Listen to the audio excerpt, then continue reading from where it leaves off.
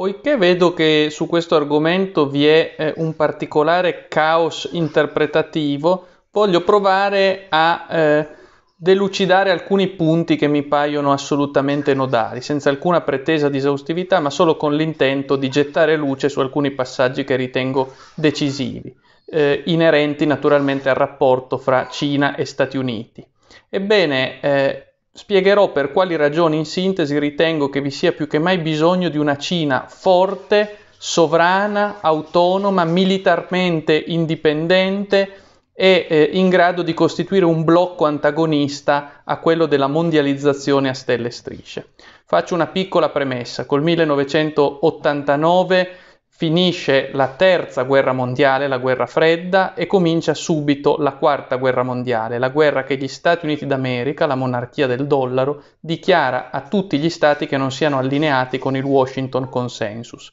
Inizia cioè in senso proprio la mondializzazione capitalistica, che coincide di fatto con l'occupazione neocolonialistica integrale del mondo da parte della potenza uscita vincitrice dalla terza guerra mondiale e che ora, venuto meno il Weltdualismus e la divisione del mondo secondo il principio del cuius regio eius economia, può eh, pretendere di sottomettere al proprio dominio il mondo intero. Ebbene, è per questa ragione che tutti i conflitti dopo il 1989 sono diversi fra loro, ma tutti si lasciano ricondurre a un unico principio. Gli Stati Uniti d'America che dichiarano dittatoriale, Stato canaglia e totalitario il governo che non sia disposto ad allinearsi con Washington, sia esso l'Iraq di Saddam Hussein, la Serbia di Milosevic, la Libia di Gheddafi e così via, di guerra in guerra. Ripeto, diversissime fra loro, ma tutte riconducibili a questo principio unitario. Ebbene, capita però che nella sua avanzata imperialistica la monarchia a stelle e strisce incontri dinanzi a sé potenze che non si lasciano debellare facilmente come è stato il caso della Serbia di Milosevic o della Libia di Gheddafi, potenze eh, colossali come la Russia di Putin, che dopo un periodo di eh, sonno della ragione con Boris Yeltsin e ancora prima con Gorbaciov, ha ripreso a porsi come potenza antagonistica e, e indipendente rispetto all'imperialismo a stelle e strisce, ciò che è avvenuto con Vladimir Putin, potenze ancora come la Cina che eh, vantano una propria autonomia, una propria indipendenza monetaria, economica, politica e geopolitica. Potenze che non possono essere eh, scardinate facilmente con un bombardamento eh, etico, con un imperialismo terapeutico immediato, ma che richiedono appunto un conflitto di altro tipo. Ecco perché siamo da tempo nel quadro di un conflitto duraturo contro la Russia di Putin, continuamente demonizzata, eh, continuamente accerchiata da basi della Nato nei confini degli ex spazi sovietici, eh, destabilizzata con rivoluzioni colorate come quella della Georgia o dell'Ucraina e, e poi naturalmente destabilizzate anche sul piano dei costumi con fenomeni da baraccone squisitamente postmoderni atlantisti come le Pussy Riots, le Femen e così via. Eh, per quel che riguarda la Cina la situazione è diversa ma si lascia anch'essa inquadrare in questo orizzonte di senso. La Cina è una potenza militare, economica, geopolitica, da tempo non si piega al mondo a stelle e strisce e di più resiste. La Cina, peraltro, è diventata da tempo un colosso economico indipendente, ha accettato la sfida del capitalismo e la sta vincendo accettando le regole stesse del capitalismo e dell'economia di mercato, pur senza rinunziare ad essere, formalmente o di fatto, uno Stato comunista. La Cina, dicevo, non può essere bombardata dagli Stati Uniti dall'oggi al domani come supponiamo la Libia ed è per questo che già da tempo stava salendo la tensione fra Cina e Russia, tra Cina e Stati Uniti, pardon, ciò che stava culminando già con la vicenda Huawei, con la corsa al 5G e quindi già da tempo eh, si stava determinando una vera e propria conflittualità eh, di tipo analogo a quello della guerra fredda interna alla terza guerra mondiale tra Stati Uniti e eh, Unione, ex Unione Sovietica. Ciò eh, sta culminando ora con la tensione legata al coronavirus. Già da tempo gli Stati Uniti dicono essere il virus coronavirus un virus cinese, il virus di Wuhan. La Cina per parte sua risponde dicendo che è un virus della CIA, è un virus di origine statunitense. Ebbene, quale che sia l'origine di questo virus, prodotto nel laboratorio dall'America contro la Cina, prodotto nel laboratorio dalla Cina contro l'America,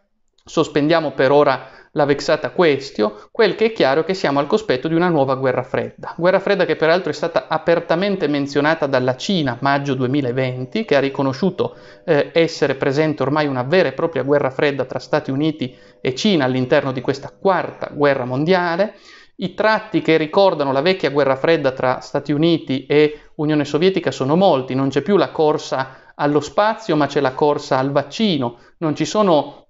eh, veri e propri momenti di belligeranza aperta fra eh, i due contendenti, ma ci sono punti caldi, la Corea e il Vietnam ai tempi della guerra eh, fredda tra Russia e Stati Uniti, ora il caso di Hong Kong in questa nuova guerra fredda tra eh, Cina e Stati Uniti. In sostanza, ripeto, siamo al cospetto di una conflittualità come la precedente, mutatis mutandis. Ecco, da questo punto di vista, e stante l'analogia con la vecchia guerra fredda, ritengo, ripeto, che sia indispensabile la presenza di una Cina forte, autonoma, militarmente indipendente, tale da garantire la propria capacità geopolitica di resistere alla monarchia dell'hamburger, di porre resistenza rispetto alla monarchia a stelle e strisce. Eh, qualora la Cina dovesse capitolare, ne scaturirebbe l'atlantizzazione di quello spazio e quindi il procedere eh, ancora oltre della globalizzazione a stelle e strisce. Chi realmente abbia compreso l'esigenza di contas- contestare il globalismo, di opporsi operativamente, teoricamente ad esso,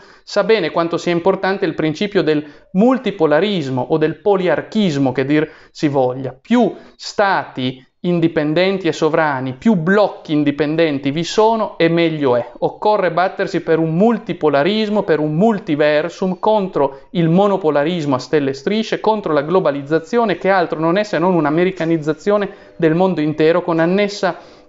occupazione imperialistica e militare di tutti gli stati non annessi. Per questo personalmente ritengo della massima importanza appoggiare tutti gli stati sovrani nazionali che resistono alla globalizzazione, cioè alla cosmopolitizzazione a stelle e strisce dei loro spazi, siano essi la Cuba di Fidel Castro, la Siria di eh, Assad, la Russia di Putin, eh, la Corea del Nord e naturalmente la Cina stessa, che da questo punto di vista mi pare svolgere egregiamente una funzione catecontica, direbbe la teologia politica, di baluardo resistenziale all'atlantizzazione del mondo intero. La Cina, come gli altri stati che resistono, ivi compresa la Russia di Putin, svolgono la funzione, diceva Costanzo Preve, di eh, piede che si pone nello stipite del capitalismo globalizzato prima che esso si chiuda definitivamente. Insegnano anche a noi l'importanza di resistere e di non cedere alla globalizzazione a stelle e strisce, giacché un mondo multipolare è sempre da preferirsi a un mondo monopolare, essendo il mondo monopolare nient'altro che la monarchia universale, come la chiamava Kant nella pace perpetua, cioè l'occupazione integrale del mondo da parte di una forza, ciò che non genera ordine e pace, bensì caos e eh, guerra permanente. Non per caso dopo l'89 è venuto meno il eh, conflitto della guerra fredda che congelava le conflittualità reali, sono riesplosi endemici i conflitti reali eh, in nome della globalizzazione. Ecco perché, ripeto, abbiamo bisogno eh, incondizionatamente di una Cina forte e indipendente, anche militarmente indipendente, in grado fare, eh, di svolgere il ruolo di deterrente materiale rispetto all'imperialismo, al delirio di imperialismo statunitense.